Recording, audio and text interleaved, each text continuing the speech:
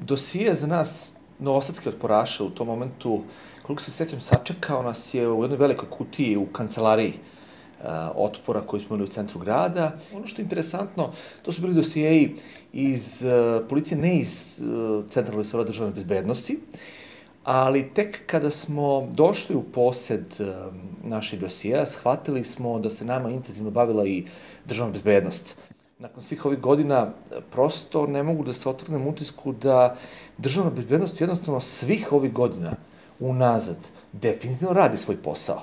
Ali definitivno, ako su 99.